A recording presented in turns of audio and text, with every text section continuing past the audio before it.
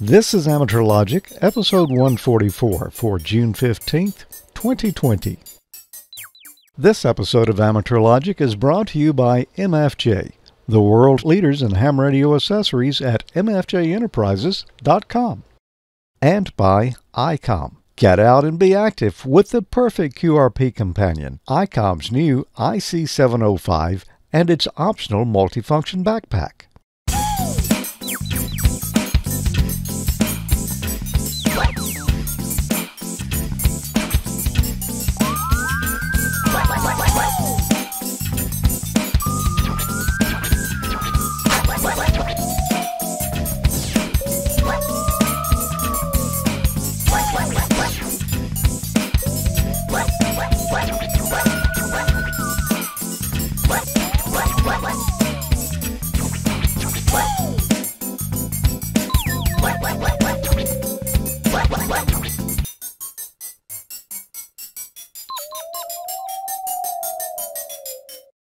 Good evening. Welcome to another episode of Amateur Logic. I'm George.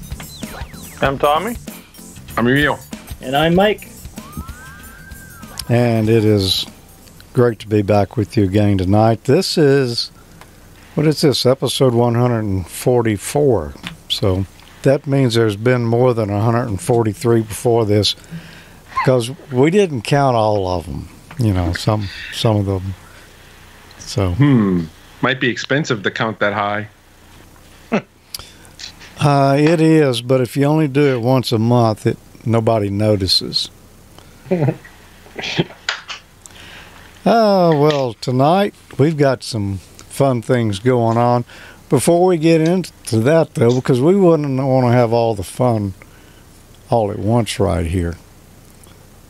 You need to pace yourself. Yeah, do need to do that. So we want to mention a couple of things, and what do we want to mention? Well, one is this right here. We've got a chat room anytime that we're streaming live. It's at amateurlogic.tv slash chat. You can join in there. There's a group of folks in there having a good time, and they've been telling dad jokes. That's always a good time. Yeah. First, let's just see what everyone's been up to and what they might talk about tonight. Tommy, what's been going on over there on my left? Oh, you mean you're right? Oh, yeah. Depends on where you're sitting. Your other left. Yeah. I've just been I've been playing radio a good bit since I've been home so much. Uh, I've done several projects that I've been wanting to do, and uh, actually got a couple segments in the works. But I got a fun one. So my shoulder right here, I'm going to show you guys about here shortly. Okay. Yeah. That, that is a fun one. I I have not watched it myself yet, but I know what it is, and I'm looking forward to it because I have several um, several things on my shelf. And and this Awesome. gave me a little inspiration. Maybe I will pull one of them out and put it to good use. Emil, what's been going on up there, down there?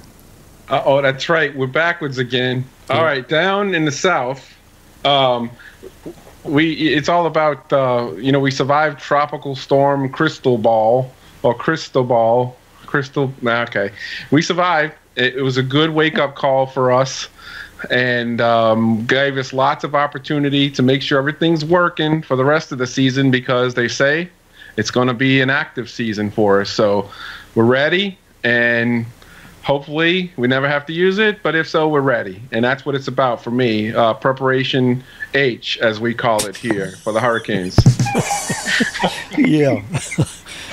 cheap, cheap preparation. Hey, and i can't take credit for that because george george did it it was his fault yeah. Well, it it was just sitting there presenting itself. I had to I had to bring it up.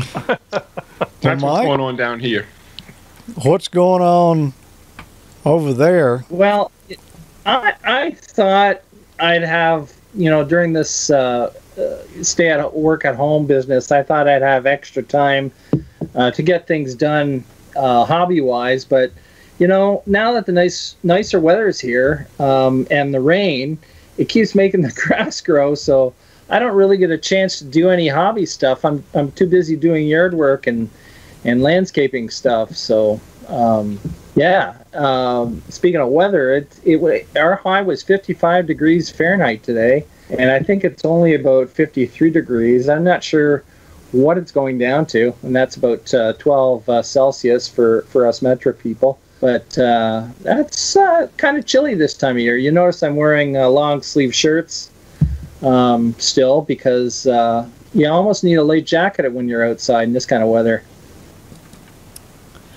Wow, yeah, 55, that's kind of cool. It has, I don't know, it's been in the 80s here, I believe, most of the week. And I don't know if it got to 90 this week, but the humidity has been low the last two or three days. It's felt a lot better. Uh, it's going back up though, so you know that's that's just the kind of the way it is down here in the south. It'll probably spike in a couple of weeks since because field day coming up. True. Oh, don't get me don't get me wrong. We've we've had a couple of mini heat waves, and uh, two days ago, um, the humidity was so bad, and I think we're in the mid to high high 80s uh, Fahrenheit, which is warm for us for this time of year. And we seem to get a few days of that, and then we're back down into the uh, the real cold temperatures. Um, so I'm kind of waiting for things to level off so I can get some antenna work done. Yeah, well, it it has more or less leveled off here, except it has been raining every day, and like you were saying, it really makes the grass grow. I I got a whole bale off my front yard yesterday. so, yeah, No. quite. Uh, well, I could do without cutting grass for a while. I don't think it's supposed to rain next week, so maybe maybe I'll get a little break there. I've got some work I need to do out in the swamp. You know, I've got some issues at the doghouse or the antenna tuning unit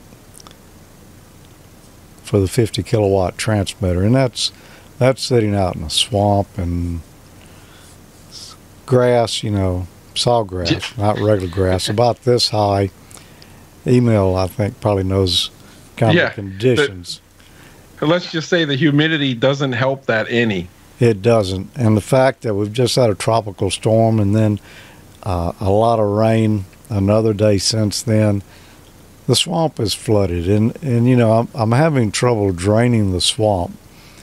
But uh, I've got to go out there next week and do some work on that uh, on that doghouse. So uh, it got a few dry days though, so uh, maybe we'll have a little luck with that. Well, there is a big contest going on this weekend for amateur radio. And as a matter of fact, I I did some checking a while ago to see what what my uh, 40 meter off center fed dipole looked like on six meters. And let me just say it it doesn't look very good on six meters. And the smoke coming out of the tuner was even you know, more of an indication that I wasn't going to be able to use it. Uh, but what is the contest going on this weekend, Tommy? I think you've got some information on that. Yeah, I got a little thing from the ARRL. It's there's a link at arrl.org slash June uh, hyphen VHF, and uh, there's a contest going on for VHF and UHF for amateurs in the U.S. and Canada and their possessions to work as many amateur stations in as many different 2 degree by 1 degree Maidenhead grid squares as possible using authorized frequencies above 50 megahertz, that's the 6 meters and up. Stations outside the U.S. and Canada and their possessions may work the stations in the U.S. and its possessions in Canada. All legal modes are permit, permitted, while CW and single sideband phone are most common. MSK 144, FT8, and FM only are gaining popularity. Uh, other popular modes include PSK 31, PS, FSK 441, which I've never even heard of, uh, and JT65. Anyway, digital mode should be represented as DG. Um, there, there's a good write up on there. If you follow that link, uh, arrl.org slash June dash VHF, you can find a lot more information about it. Um, that's actually this coming weekend. So if you're watching the live stream, you'll get this in time. But if you wait, if you've seen it on the recording, then it's probably over by now. Yeah, I'm going to try to work some this this weekend after I get this video edited, posted. I would like to get on there and uh, try to make a few contacts. And I was hoping to do six meters because my amplifier just happens to work on six meters. Ah. But Did you did you say uh, Tommy? Did you say um, the FSK 441? Is that what? Yeah. Yeah. So ask me how I know what that is. How do you know what that is? It, I believe it's on the extra test. I've been studying, right? And uh, it's the meteor scatter mode in that suite Okay. of um, apps.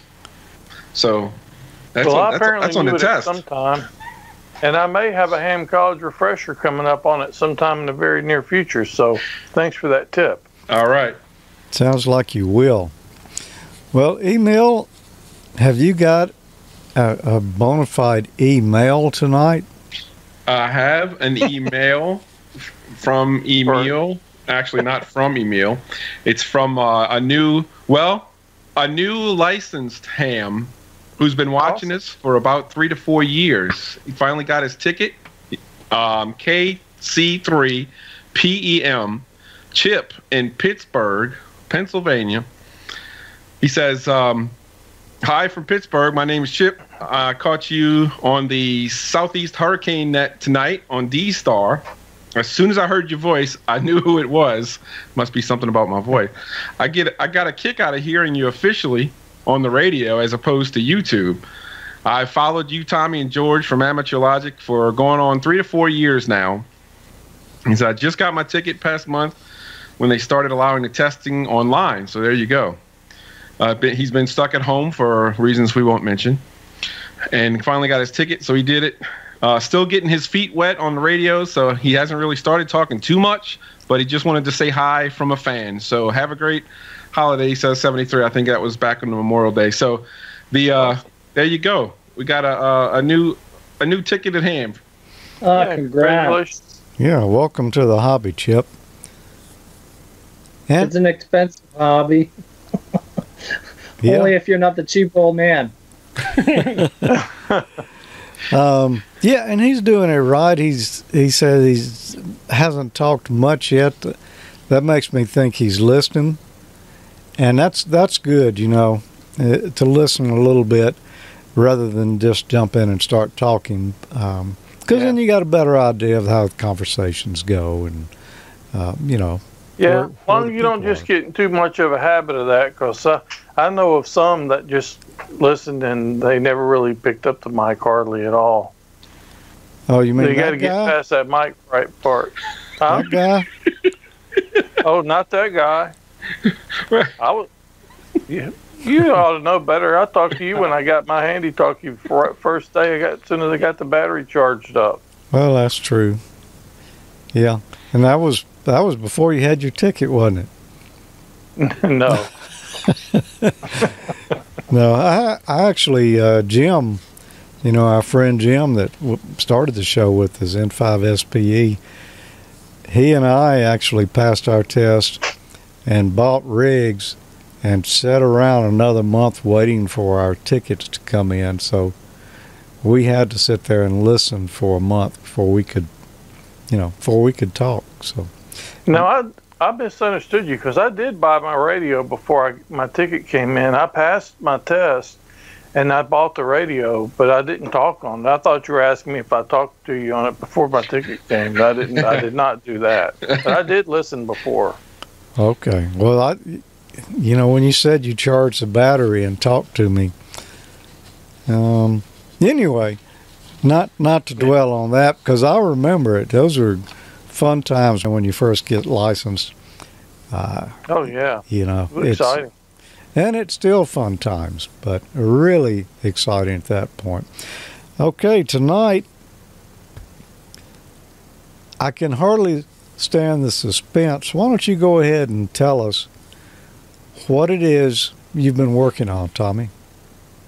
Yeah, I've, I've uh, got a ham clock. Uh, Emil had one, and I, uh, Elwood Downey, uh, WB0OEW, I think was his call, sent me an email quite a while back about it, and somehow or another, I feel bad because I let it slip through the cracks.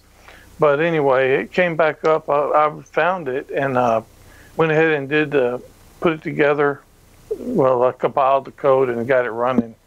Um, but anyway, let's watch the video and then I'll tell you a little bit more about it afterwards. You guys have seen the ham clock Emil did. It's very nice, uh, great functionality. Well, I've got one as well that I've been using on my Raspberry Pi back here with an HDMI monitor. This one was made by Elwood Downey and it's very versatile. He's got a great website that shows you exactly how to build it, how to compile the code and everything. It's uh, it can run on a Raspberry Pi in desktop mode, which is my preference because I share this Raspberry Pi 4 here. I do some other ham things with it. And then I've also got my RigPi station server, my MFJ1234, that I will be putting it on there. I've been doing a lot of digital modes and stuff, and that's kind of becoming my ham radio computer. So I'm going to put it on there too. Elwood Downey made this one. It's very versatile. It can run standalone on a Adafruit Hesba board. I'm probably pronouncing that really wrong. Uh, with a display as a standalone device.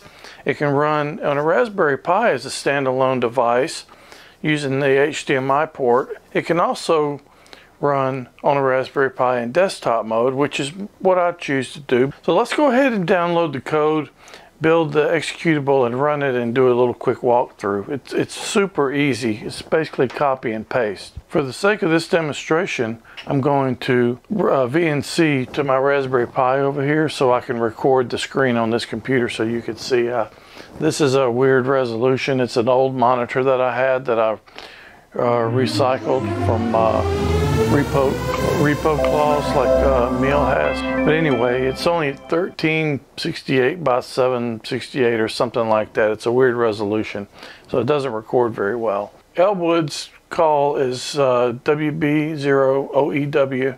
Again, he's done a great job with this. ClearSkyInstitute.com slash ham slash ham clock and capitalization matters if you try to go to the website.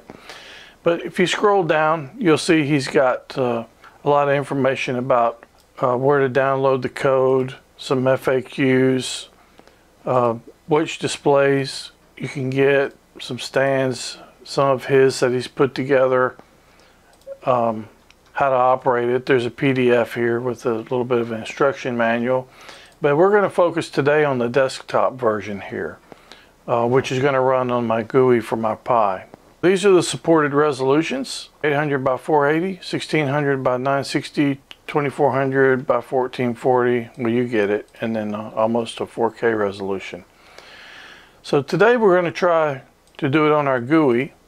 So what we're going to need to do is run these commands right here, and this will download the code, unzip the package, change to the folder that the unzip routine is going to make, build, the executable and run it. So we're going to need a terminal to do that. So I'll just run my little handy terminal here. And let's first start off by downloading the source code.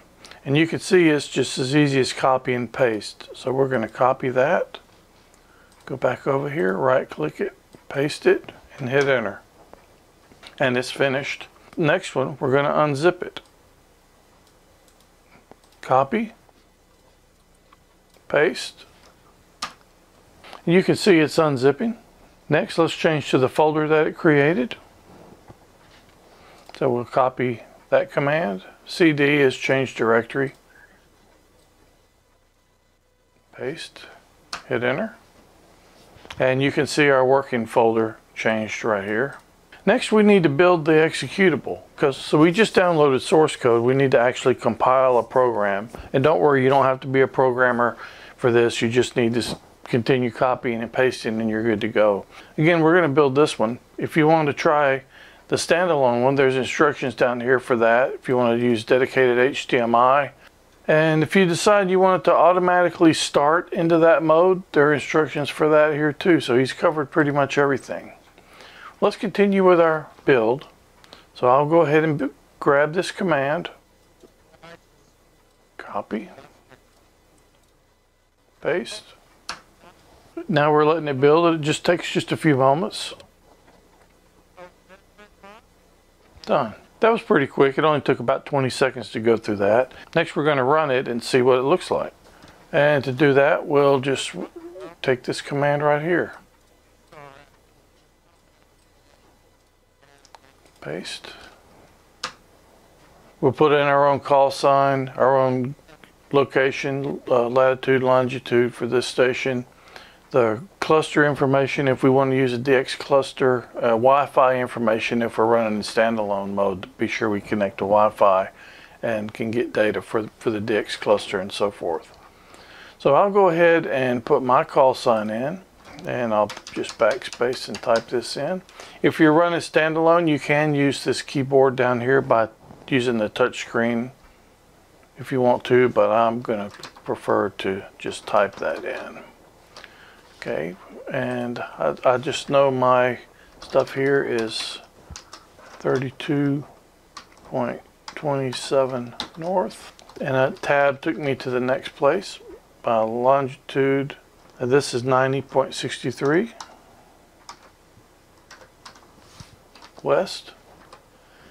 And if you're in the UK or anywhere but the United States, you can pick metric, but I'm going to pick imperial. If you pick IP geolocate, it'll try to determine from your IP address what your location is, but I'm going to do mine because it doesn't actually get mine exactly right.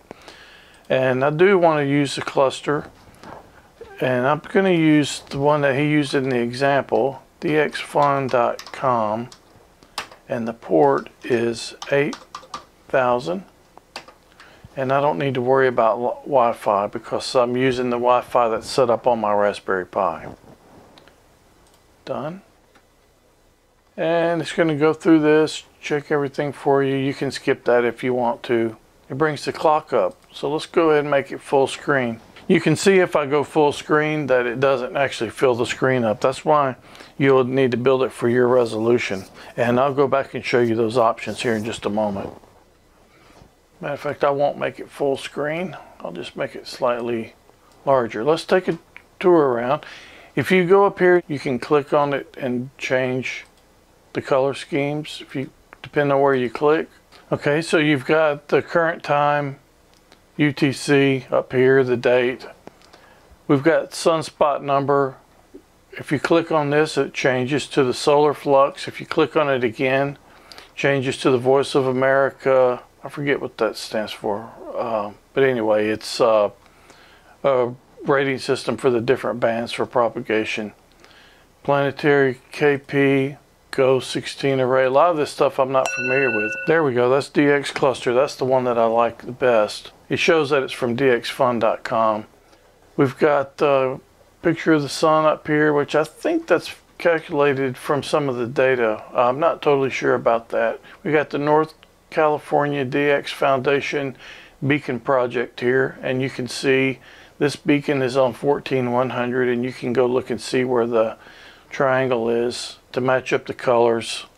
Um, 21 150 right here so you can tune to those and check the propagation that's pretty nice one thing that's really cool if you build the standalone one you can put a light sensor on there on your uh, Arduino or your Pi I believe and it'll actually adjust the brightness of your display I'm not sure if that works for the Pi I'll have to look into that but it does adjust the brightness of your display and if you click over here if you have that then it will uh, show you what the level is down here we've got the current station. We click on it, we've got the time stuff. Down here we've got DX. If you click on something, it uh, shows you the section that you're in. We've got, if we click over here on DX again, it brings up the satellite list and you can pick a satellite to track and you can see right here that it's, it's on its way. Six minutes and 23 seconds actually and it shows you the path. It, this is where it is right now, and this is the path that it's taking. If we were going to try to listen for it, we could see once we're in that circle, we should be able to go outside when we have line of sight to the sky and hopefully pick it up if we wanted to. We've got uh, RSS feed down here. If you turn that on, it shows you the DX News RSS feed. We've got the moon, the phase of the moon, and where the moon is at the moment. If we change here, we've got this flat picture of the Earth. If we change it, we get the global one or the circular one, and you can see the direct path of everything. Uh, we can turn on the markers for the latitude, longitude, Let's go look at the compile options real quick. If you want to build it for a different size, it's, it's really easy. I can show you the options. So let's go ahead and bring up another terminal since this one is running our program. If you want to know where you are, what folder you're in, it's usually right here, but you can type pwd for your working directory. Uh, ls brings up your directory, and we want to go to ESP ham clock. So let's show CD space ESP ham clock. Capitalization does matter here. And LS. We can shows you all the files in there. This one is the one that we built that we're actually running. But we just want to look at the make option. We can type make help if I spell it right. So let's say we want to build it for a larger display. We've got a lot better better one than the one I've got here. I copied the make command again. We'll paste it. And we can see if we want to build it for 1600 by 960, we would just type, go make J4 ham clock dash 1600 dash 960 and hit enter. Let's do that. And hit enter. Helps if I type it in right. And it's going to build, it just takes a few minutes. And if we do ls, we can see that we built this one. Our other one's gone. So to run that one, we would type period dot, because that's the current folder we're in, ham clock dash 1600 by 960.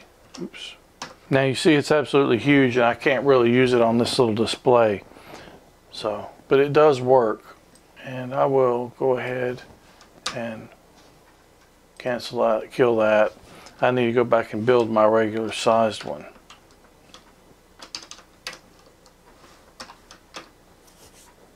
Okay, ls to look at the directory. Now we can see our executable is ham clock. And we're right back to where we were. And there we are. I hope you like it. Appreciate Elwood for what you've done for the ham community releasing this. It's a great, great program, and I'm sure a lot of people are going to get a lot of use out of it. See you guys next time. Good looking clock there, and wasn't too bad to set up either.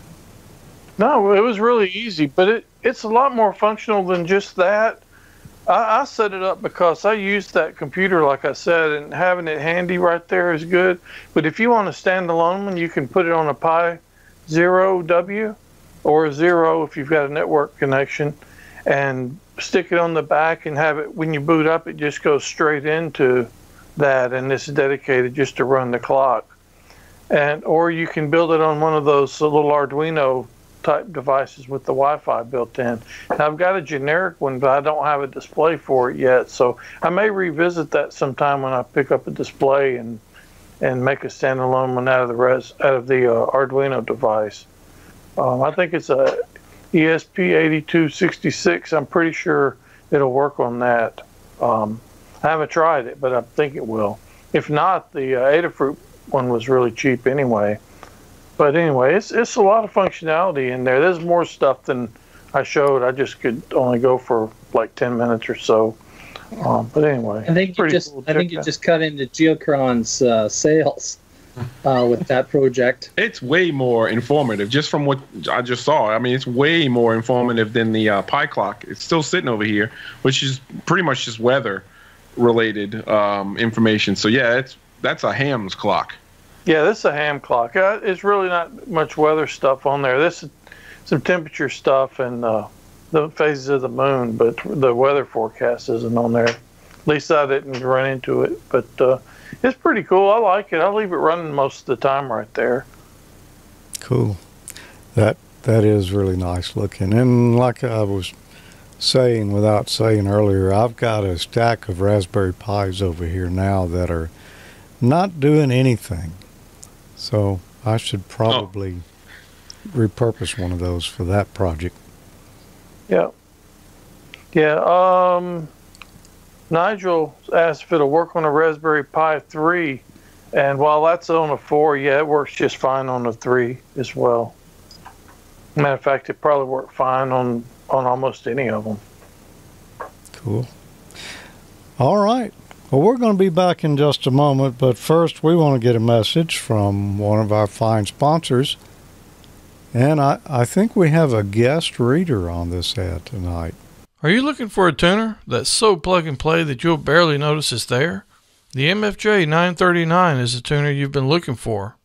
With a plug and play cable to match your choice of radio, this versatile tuner can be connected to all modern or classic HF transceivers. This is truly a tuner that's easy to connect and easy to operate. On supported radios, it can tune your antenna automatically so there's no need to do anything but enjoy your time on the air. To give you peace of mind, this tuner has an audible SWR meter that can give you instant feedback. This tuner can match your radio with antennas that have an SWR up to 32 to 1. That's a 50% wider matching range than competing products that are less capable and higher priced. It can tune your coax fed or random wire antennas from 1.8 to 30 MHz using as low as 2 watts QRP to 200 watts single sideband or CW. Whether you're rag chewing or contesting, the MFJ 939 is learning your antenna and the way you operate by storing your settings in its 20,000 available memories. The more you use it, the better it will perform.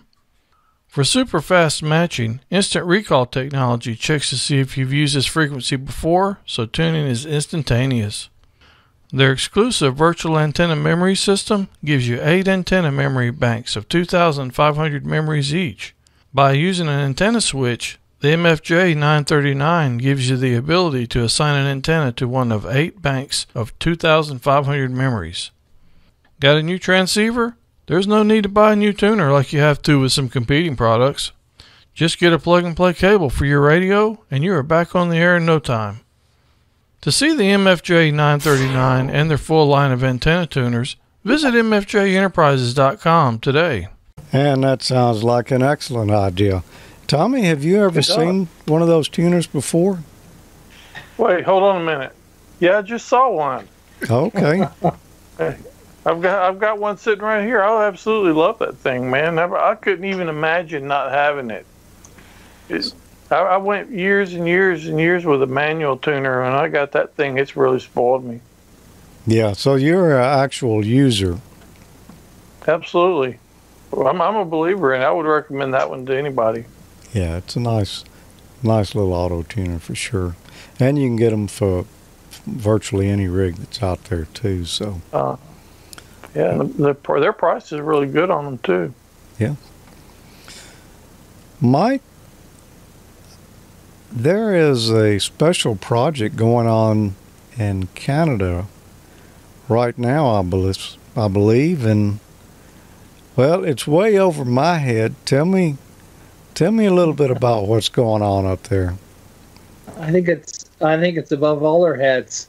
Although they haven't launched yet, I think the launch has been delayed. But uh, the Canadian Space Agency um, put together a project um, for all the post-secondary institutions, including all the provinces and territories, uh, for their students to take place in a real space mission, mission by designing and building and launching and operating their own miniature CubeSats. And there's uh, 15 in total, indicated by each of those red dots on the map there.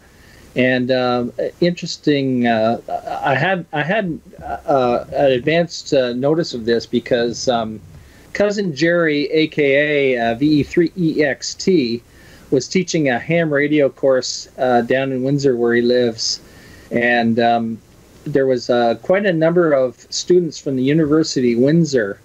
And uh, one of the stipulations for uh, being involved with the CubeSat project is that you had to uh, acquire or, or get your amateur radio license uh, so that you could operate it.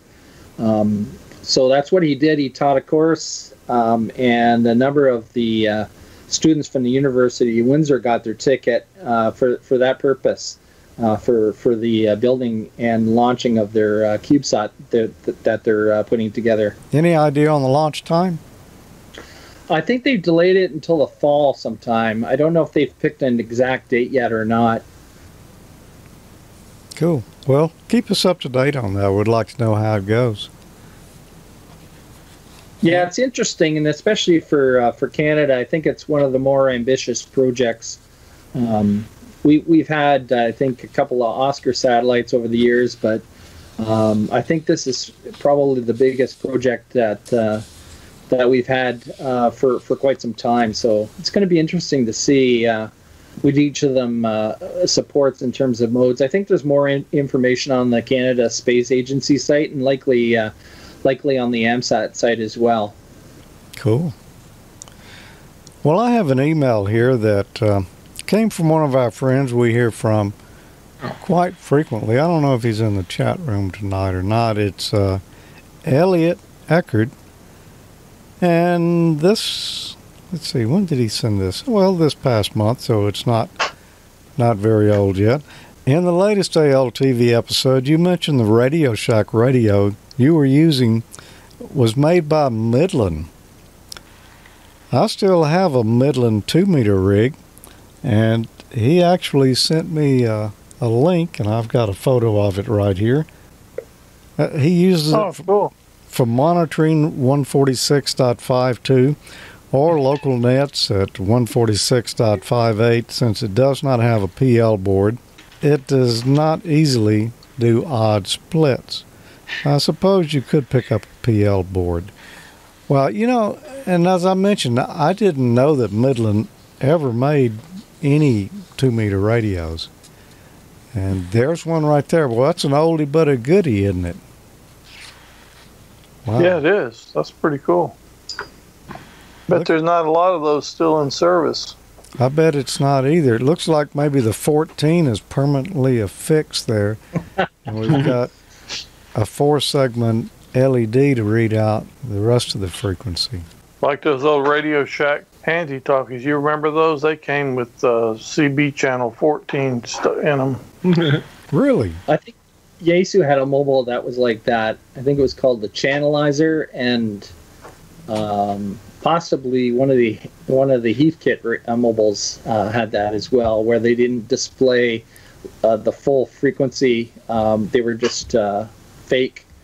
The first couple of digits were uh, were one four, and then the rest were uh, seven segment displays. Speaking of cheap. Oh. oh. I'm surprised your headphones didn't fall off when your ears perked up. Why don't you tell us a little bit about cheap preparation H, Emil? well, it's it's not well yeah, it, it's for external relief for sure. But anyway, so hurricane season is uh, predicted to be pretty active this year, and that's got all of us buzzing down here because the Ham Club is uh, a lot of weather enthusiasts uh, in here in Slidell, and the ARES groups, obviously because of Katrina, Hurricane Katrina here, um, has got a lot of the ARES groups prepared and, and ready and doing things. So uh, I figured I'd go through and take the opportunity from Cristobal um, that just uh, came to us and get everything ready, make sure things are working, and seeing what I can do, and you know, as a ham. So that's what my uh, preparation age is all about.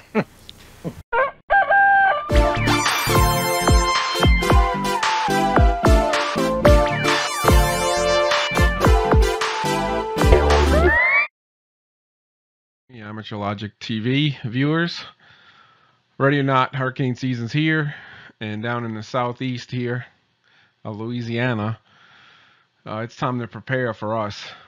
Uh, although we survived uh, Tropical Storm Cristobal, that's always the early warning and preparedness uh, signal for us.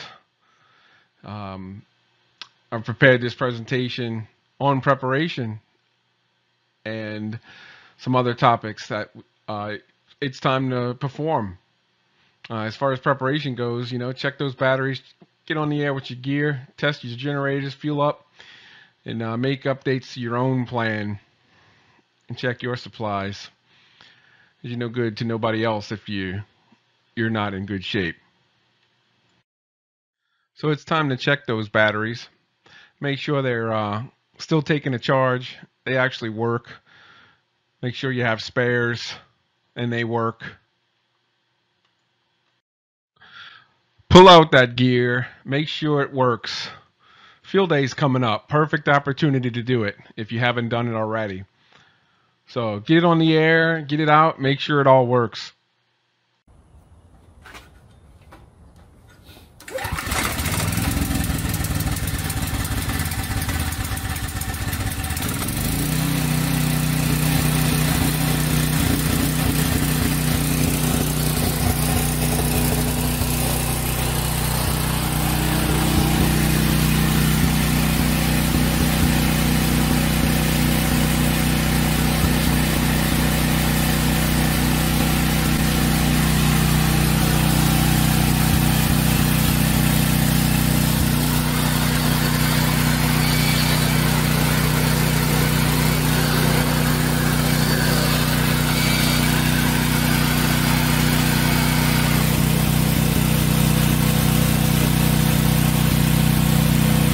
Check on your basic supplies and basic tools. Lots of good information at ready.gov for this in preparation on as far as what to get and how much, etc. There's been some additions to the KE5 QKR shack this year. I added a refurbished Dell Latitude with an attitude to run all of our uh, monitoring and servers and apps and S- uh, SDRs that I've acquired over some time. So need some horsepower to run all that in USB and SDR devices.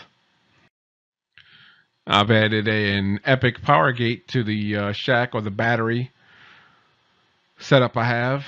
That'll take some solar panel inputs and just got to hook it all up, make it work with the system so it'll seamlessly switch between the battery and power sources in normal conditions. I'm also running a WinLink VHF RMS packet gateway on the uh, WinLink system now from the shack serving our local Digipeater hams within reach. As always, if you want to stay current and find out what's happening out there, there's plenty of software updates and plan updates from the different uh, governing bodies and software vendors for uh, many things, whether it's modes, frequencies, and plans. So update what you can see and communicate to the other hams around. For instance, many of our clubs update their sites, websites with programming, um, frequencies, plans. So there's plenty of information out on our side. You just got to find where your local clubs put this information about what they're doing and uh, how up to date it is so that you can program your rigs and uh, systems. I also attend um, our local clubs meeting and some other clubs around our area, the greater New Orleans area. And also the state has um, their own site plus some uh, social media forums that I keep up with information on just to know what's going on for situational awareness.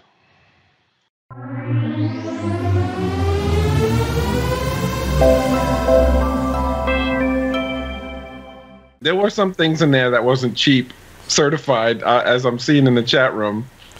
uh, yeah, I, I think I could probably pick out a few in there, but uh, timely as well because we just went through a tropical storm here, as you mentioned, and you know that little storm created a lot more trouble for me at these radio stations here than I would have ever expected because it wasn't really that strong, but no. oh man, No, it was a lot of rain though. yep, Yep. I've had a lot of issues that I'm still not completely recovered from. So. Uh, um, you get rain blowing from different directions and constantly, and you start seeing some problems. Yeah, well, I think most of my problems were induced from the power grid. You know, and yeah, I have generators, but you know, stuff can happen before you ever switch to a generator. Uh, anyway, so y'all are ready. Bring on the big one now. Is that what you're saying? No, no. Oh. Hey, we're ready. We're ready, but no. Okay, I don't blame you. I I just assume it stay away too because if you get it, you know, it's going to be rough up here too. Exactly. We don't want the leftovers either. No, No. I'll wave as I pass by on I 55, that's for sure. we're going to take a quick break and come right back because we've, we still got more to go. So stand by while we take a message from our friends at ICOM. Get out and be active with ICOM's new IC705 and its optional multifunction backpack. The IC705 is your perfect QRP companion as you have base station features and functionality at the tips of your fingers and a portable package covering HF 6 meters, 2 meters, and 70 centimeters. This compact rig weighs in at 1 kilo or just over 2 pounds with RF direct sampling for most of the HF band and IF sampling for frequencies above 25 MHz. 5 watt battery operation with BP272 or 10 watts with a 13.8 volt DC supply.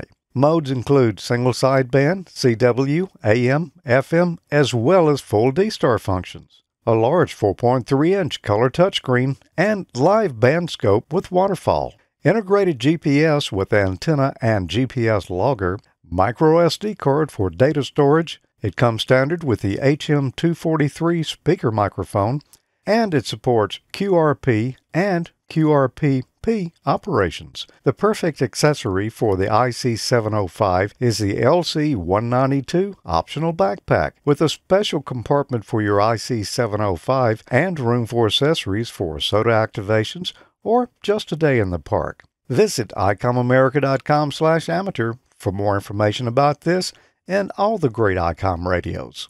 Just a little heads up there, that is a great rig and we've actually seen it here before. Ray brought one over. It was actually a prototype back a few months and we shot video on it. Well, Ray is going to be back here for field day. And we don't know exactly where we're going to do it yet, but we're going to set up, and we're not going to go in the tents and all this year because, well, obviously, um, probably not the best idea in the world at at this particular time. But Ray is going to come over, and he's going to bring that rig along with some some neat antenna options, and we're going to set it up and work a little field day from outside somewhere. I just hope we don't have thunderstorms that day and the temperature is somewhere below 100 degrees with it, you know less than 100% humidity. That So would be nice, that would be nice. but not very likely. I have an announcement here. This actually came from David KA8ZGE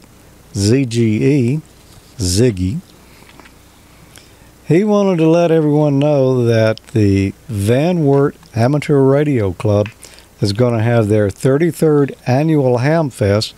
It is still scheduled and uh, they are planning on holding it. It's going to be Sunday, July 19th, 2020, at the Van Wert County Fairgrounds on Washington Street in Van Wert. Free admission this year. They will have a donation jar there so you can drop in a donation if you'd like. Many Hamfest have canceled, but things have eased up, and working with officials, we will have one.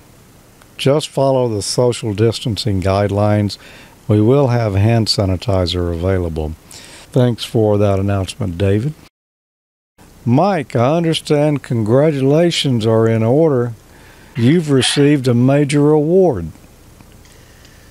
Yes, my I one like and only. I just couldn't resist taking advantage of the uh, the Hamvention QSO party, uh, which issued participation certificates, and uh, I actually got mine sent to me uh, by uh, Tim Duffy, K3LR. Um, so any of any of you people that uh, managed to work in that contest and posted your score to 3830scores.com, you can uh, request your certificate. That's my one and only paper for the wall. Nice. Yeah. I- Well, that's not guess- a leg lamp, but that's pretty cool. I was I was pretty surprised because I, I made one single contact and because the contact I made happened to be one of the uh, the DARA stations, I got a, a bonus uh, ten bonus points, so it brought my score to eleven. So so there's there's some prosperity there. Um, and I was I was actually surprised when I checked the scores because I thought I oh here here's Mike he's going to be dead last in the lineup and I'm like 30th from the bottom or something like that. So it just goes to show you it's it's not all about the numbers it's about having fun. Wow. Well, I, I had one single contact too, and I did not apply for the award, but I didn't. I did, wouldn't have got the bonus points, so I would have been much further down the list than you, Mike. I, I couldn't touch your your score there. Anyway, that was a lot of fun and uh, I guess uh, thanks to uh, to Tim and everybody else who uh, put that that together as kind of a consolation prize for uh, Hamvention uh, 2020 having to be canceled this year. Yeah. Yeah, that was that's pretty cool. Yep. Yeah. Well, it is time for my segment. You know, it has been an interesting month. It's been an interesting spring, actually. But, you know, I've been working on that Echolink project, trying to get a squelch signal out of a rig to connect to the RS-232 port on a computer. And I've had it working twice with different circuits that I put together, and it it's they're working just fine. Everything is great till you put it on the air a few days, and then you discover, oops, that that's not working out like I hoped it would. So here is my latest incarnation of tap that squelch, and I, I this one is working great. Uh, we'll talk more You might about it remember after. in last month's show, I showed you how to tap that squelch. We were using an old Radio Shack HTX 212 rig with Echolink and needed a way to get a squelch signal out of it. I had tried two different methods to do this. First, using a transistor. That worked partially, but not reliably. Then I used a hex inverter, two stages of it, and that seemed to be working okay, although the RS-232 signal is not the same as a TTL level signal. It seemed like it was going to work. After a while, we had issues with it. So now here's my third incarnation, and this is really how I should have started out. I knew about this chip and had a few surface mount ones that had been given to me, and I was just trying to avoid using the surface mount chips because that can be kind of difficult when you don't have a board to put it on. Nevertheless, that's what it took to pull this off. Here's a photo of the Max 232 CWE version. For size reference, I'm showing it beside a 5 volt regulator that's in a TO220 case. Now that's a 16 pin chip, so you can see it's pretty small. Now let's talk about why I had problems and my hex inverter circuit wouldn't work. You know, TTL and for the most part CMOS operate with a 1 or a 0, a high or a low signal. The low signal is typically between 0 and 0.4 volts, and a high, depending on the supply voltage, which typically might be 5 volts, is going to be between 2.4 and 5 volts. And that's about what I had coming out of the hex inverter. The voltages of an RS-232 signal are quite different. They range between plus 3 to plus 15 on one end.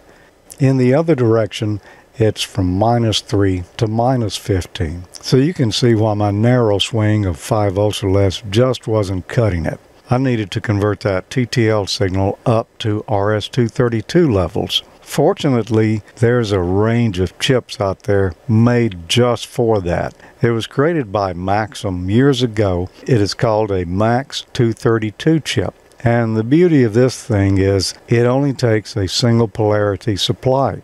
You can operate it off 5 volts because it has charge pump circuits built in that use capacitors to create the higher negative and positive voltages. There's a number of different versions of the Max 232 available today. They're sometimes called an RS-232 driver and receiver. Other times you might see them listed as RS-232 level converters. This is a circuit I'll use in the HTX 212 the hex inverter on the left is a holdover from what I did last time.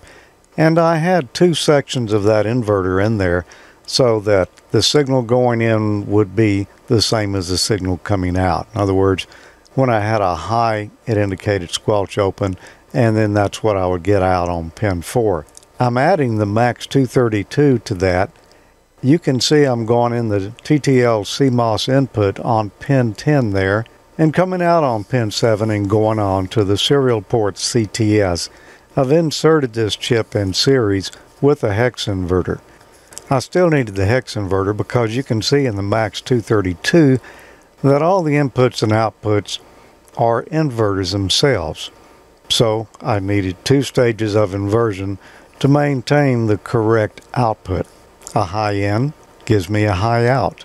Now if you look at pin 1 and 3, and pin 4 and 5, you'll see two capacitors there. Those are 1 microfarad capacitors. Those are for the charge pumps, and one is actually a voltage doubler, they call it. It steps it up from 5 volts to plus 10 for when we need that. The other is a voltage inverter. It steps it down to minus 10. And there's another cap there on pin 6. That's a 1 microfarad as well. And so is C3 up there on pin 2. That's the 1 microfarad. And C5 coming in on the 5 volt line at pin 16. That's all there is to this. I'm only using one of the four sections that are in the Max 232 because that's really all I need. And this seems to be working better because before when I only had a 0 or a plus 5 for high going into the CTS pin of the serial port, it wasn't quite as effective. That uh, sometimes will get false indications. The Max 232 CWE chips that I had, of course, are a 16 pin surface mount chip. Very small there, kind of difficult to add circuitry to.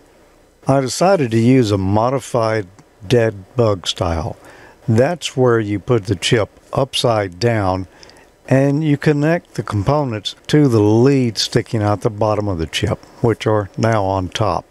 I had five different 1 microfarad capacitors that I had to connect here, so they're all over the place. There's a couple on top, a couple on the bottom, and one out the side. And you can see I put some little jumper leads there too that will connect down to my hex inverter board. This is the best I could do with what I had because I didn't have a PC board that that chip would fit. I mostly just wanted to get this going, test it out, and make sure that this in fact would cure the problem that I was having. You can see my bundle of heat shrink unshrunk tubing. It's laying over here now because there was no longer room to fit it in this other side. Inside we've got the same hex inverter chip that we had before but we've tacked on our max 232 and all five capacitors right here on top of that board. I'm just to button this back up and we'll run it like this. Although I have ordered some dip versions of that chip, that'll make this much easier to do in the future. Well, there you go. And this one seems to be working. The problem I was having using the hex inverter is, well, like I said there in the video, you know, TTL and CMOS levels are from uh, zero volts up to plus five volts for a high. And RS-232 port is not that at all. The all, you know, you're talking about levels between. Oh, it, you've got to have positive and negative voltages for RS232. I couldn't get by with the zero volts there. So when I use this little converter here, man, I think that has solved it because I was getting some some fault squelch indications from from the hex inverter chip alone, and this solved it. I mean, uh, it's five volts in, and you get both polarities coming out of it, and you get the little uh, hex inverter buffers in there as well and yeah, it was kind of difficult to work with, but I had I had the surface mount chips. Yeah. And so that's why I did it. I wanted to prove that yeah, this will work before I order any parts. I like that you used what you had. Yeah. You, you the dead bug modified method. And they were free. There you go. They were given to me by um, I've got it written on this piece of tape here from Scott.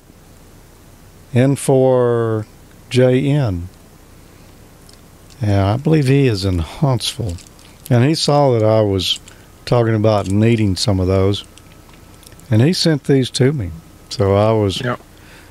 I was mighty proud to get them. He's got a lot of them.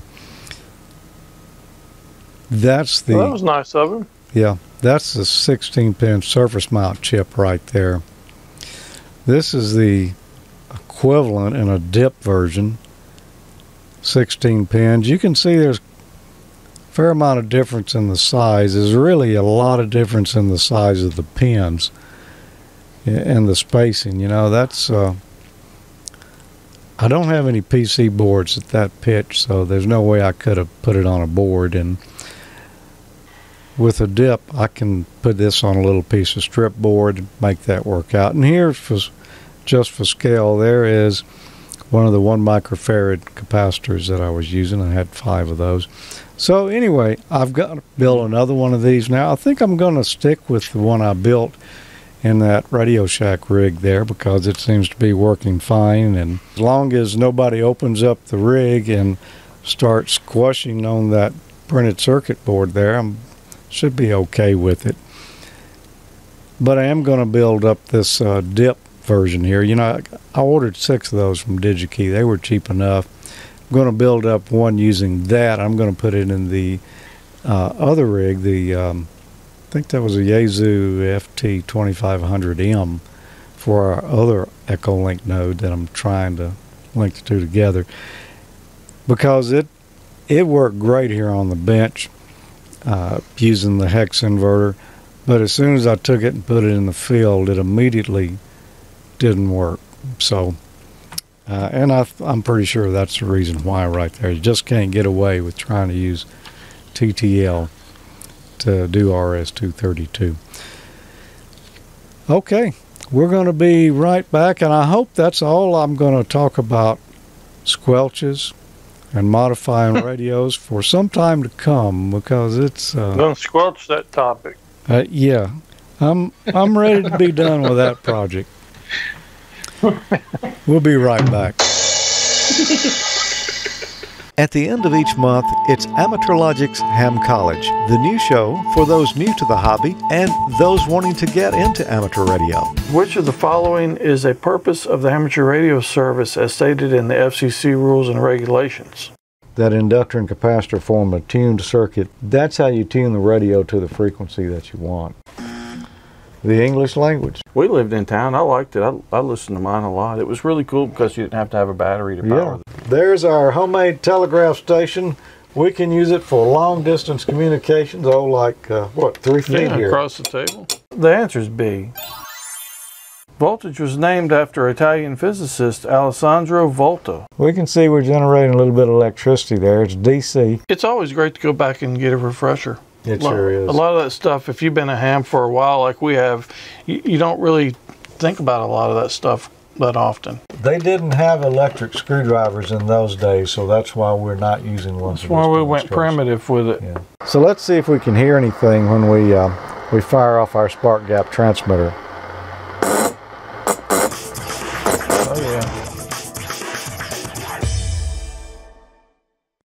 Well, we didn't build anything or blow up anything today, but The night's still young. My eyebrows are just starting to come back in too from that spark gap transmitter. I think I need to update that promo a little.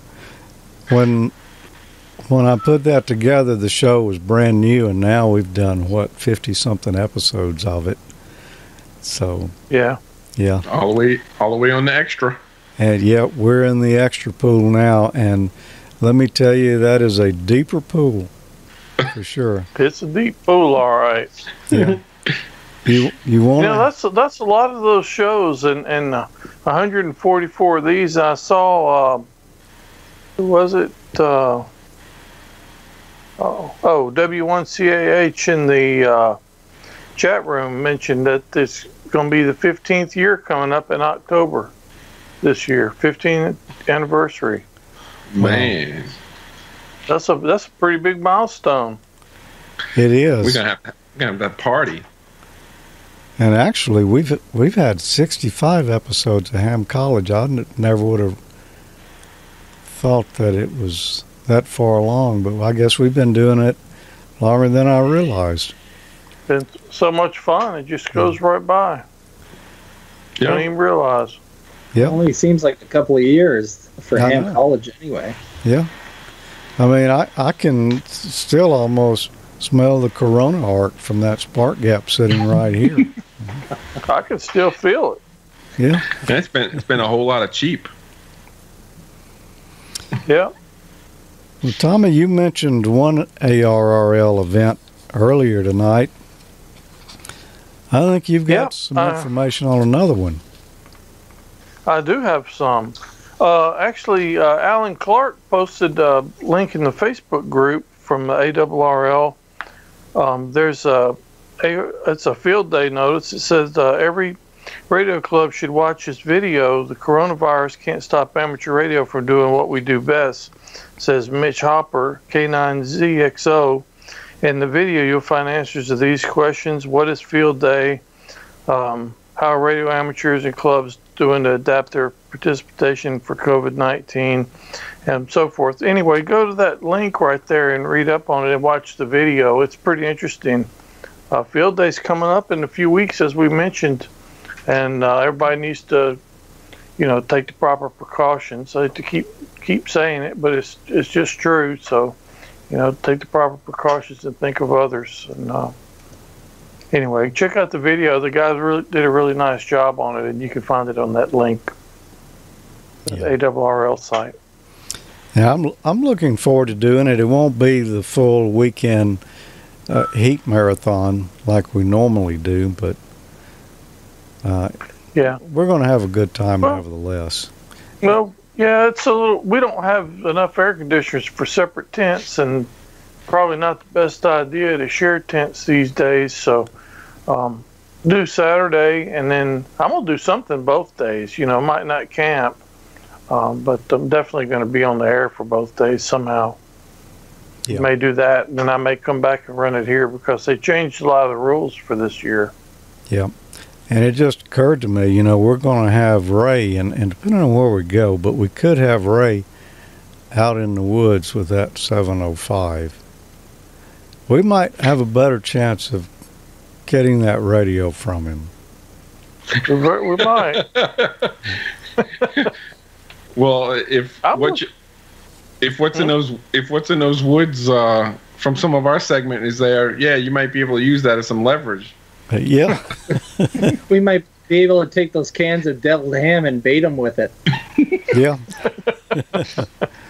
so we really I'm. I'm looking forward to seeing that 705 in action and playing around with it. I'm telling you, that's more than likely going to be my next radio, and uh, I'm really looking forward to playing with it hands on. Yeah. This Yeah, is a good opportunity for uh, for ha- like wannabe hams that don't have their their license, um, especially with the band conditions being what they have been at being at the bottom of the cycle. Um, there's nothing like uh, the uh, ARRL ha- um, field day to light up the bands. So if if Mm. if you want to do some listening, if you've got a receiver, that's a good time to turn it on because I'm sure you'll hear lots of activity that you would normally wouldn't hear on the HF bands, especially this Oh. time. Uh, Absolutely, they're going to they'll be packed. And you should find out if you've got a club in your area and check them out. You know, because you'll meet a lot of nice folks and maybe get some some useful information. Yeah, you know the, yeah. the one thing I like about the rules and the way it's structured, you know, since it's not really a contest, um, there the rules are really written well to if you if you want to learn something new, it doesn't matter which license class you're at either. If you want to learn something new and figure out how to operate something, there's a great opportunity to get the points to do it, but you're learning to do it. it the the way it's structured, you know, you're actually going to you do something useful if you uh, are successful with it and follow through. So that's why I like it so much. Yeah, and I would I would echo what Mike said. Um, you know, you you may not be hearing anything on the bands at all with the way they are right now, but on field day that weekend you will be hearing traffic. Even if the bands are completely dead, you're going to hear traffic. It's inevitable. Yep. So all you need to do is throw a piece of wire out in the yard too and hook it up to something. Yep. True. I remember my first field day, and I wasn't even licensed then, and um, I think I stayed up for the whole event 24 hours straight, and I think I came home and slept for 14. After that, it was yeah. such a rush. Yep. You know, if if you needed to look sharp for field day, like. What do you mean if? When you need to look sharp for field day, there you, you go. You might want a shirt similar to the one I'm modeling right here. Yeah, and I was going to compliment you on that. You do look extra sharp, and Mike as well. I'm feeling sharp too. If you want to look sharp for field day, it's not really a want to. You kind of have to. um, anyway, you can go to amateurlogic.spreadshirt.com, and we've got insulated cups, mugs, shirts, cap. If you live way up north, we got sweatshirts, but you're probably not going to need those this time of the year, maybe for winter field day. So there's a lot of swag on there that we did not used to have. So anyway, go check it out at amateurlogic.spreadshirt.com. If that weather keeps up, if it's cool uh, uh, field day weekend, I might need that uh, Amateur Logic uh, crew neck sweater that I've got. I may have to pull it out. Yeah, I mean, well, Mike, you know it's it's only going to be cool if you're there. That's a good point. Yep. Let's go around and see what everyone's going to be up to here between now and the next episode. Tommy, what have you got on the agenda? Well, I, I don't want to give it away, but uh, it's I've got a pretty cool project. It's very different from anything I think we've done on here hmm. yet. And uh, I'm I'm looking forward to it. I can't wait to finish it myself. I'm gonna try to finish it this weekend if I have a little time. But uh, anyway, look for, look for that. I think you're going to like it. It should be a lot of fun. Yeah. Uh, I'm going to be uh, gearing up for field day here and trying to, and working with Tommy, trying to decide where we're going to do it because Ray is coming over with that rig, and, and we want to have a uh, a good place to do that at, and uh, we'll we'll figure it out because I don't know about the woods yet. You know, we haven't cleared that site yet. Don't know if that's going to be a good location for us this year or not, but we'll find out. Emil. What are you? Well, it sounds like preparing. Yeah, it, I'm prepared. prepared for. Well, it sounds like we're all on the same page. We're preparing for field day, and that's about right because our, our club tried to do and in um, get some locations from the parks, kind of like a parks on the air type thing, and it, it's not panning out all that well for field day. Um, still, a lot of people shy about getting out there, so we might do a coordinated uh, central logging Google type thing, or and and run from everybody's QTH and do that maybe over Zoom or something else. So that's what we're looking at. Well, and they, you know, they've changed the rules on field day for this year, and that is allowed. So, yep. You know, that's that's not uh, really a, a bad idea at all. Mike.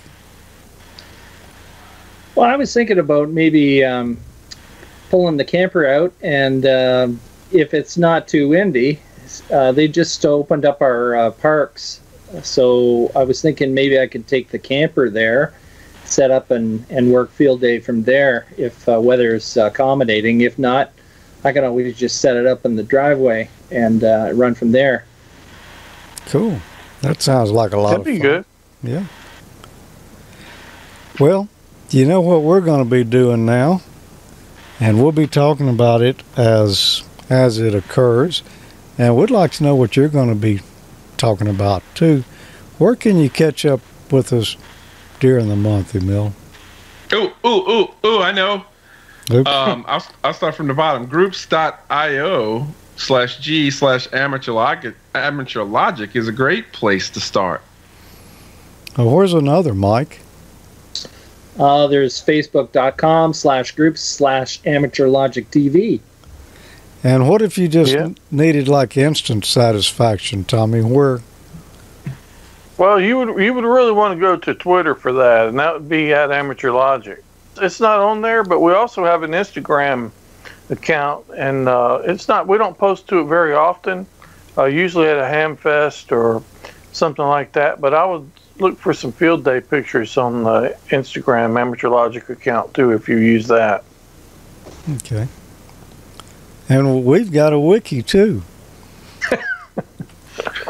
As a matter of fact, our wiki master is back in action again. Is uh, glad to hear that Dan N9LVS that things are going well now, and uh, wow, it's this is where you can get your show notes. You can find out what we talked about on the different episodes uh, any links that we might want to share on there as well. Just to get your show notes right there, amateurlogic.tv slash wiki. And I believe that is all I've got for tonight. What about you guys? Anything else we need to discuss before we go? Yeah, I was just going to mention that I saw somebody else mention it in the uh, chat room, but I actually had a little note on here to bring it up. But uh, if you didn't see the post, the Huntsville Ham Fest was canceled for this year. Yeah. Um, so we won't be making that one. So hopefully everything will be back to normal by next year. So it's been been a pretty bad year for Hamfest, uh, among other things. But uh, anyway, just want to pass that out there.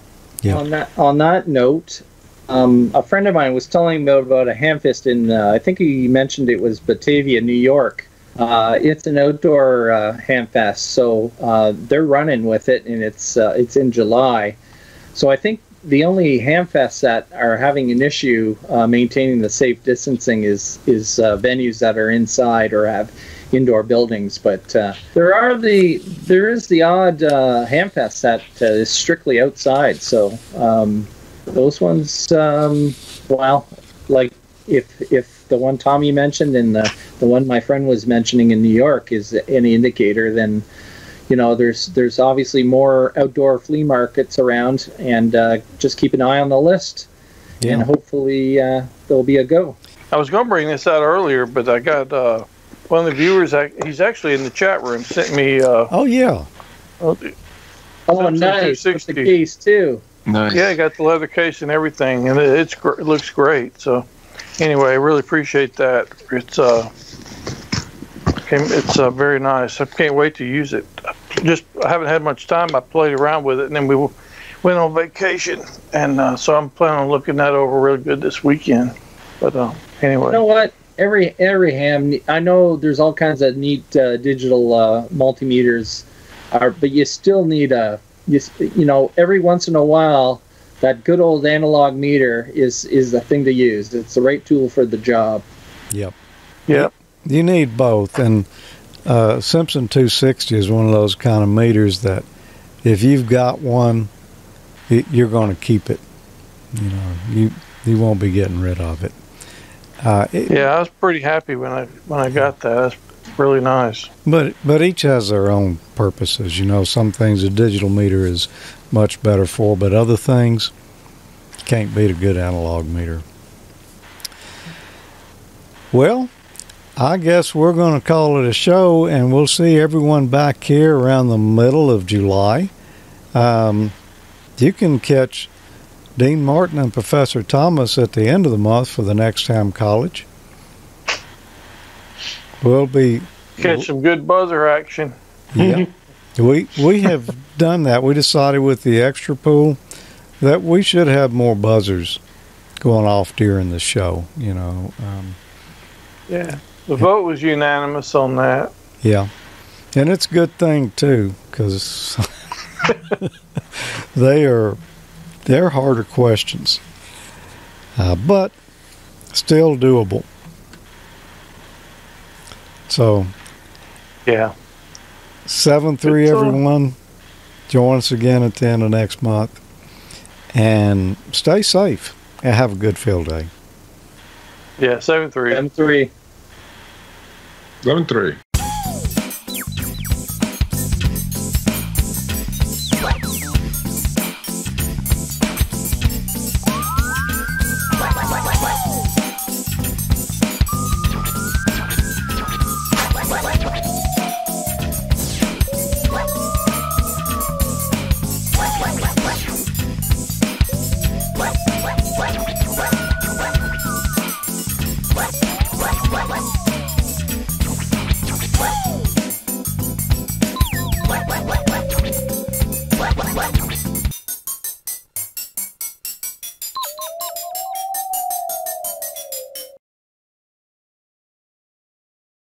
The latest ALTV episode, you mentioned the Radio Shack razor. I'm going to say that again. That Radio Shack didn't have razors that I know of. Had everything else. Yeah.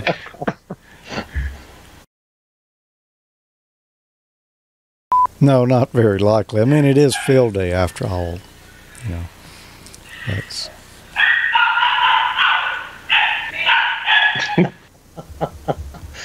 I, I think I got an amen on that. I, th- I think they must be looking for a hat.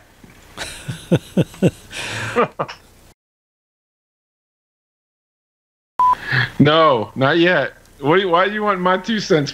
What you want my two cents for, Mike?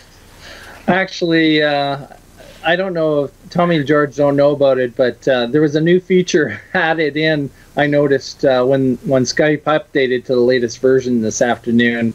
Uh, you can send or receive payments, and I requested two cents from the cheap old man. I'm like, what is this? You, This is a big old blue thing saying he wants my two cents. that's kind of like a pipe dream, Mike. He'll never And see I, that. I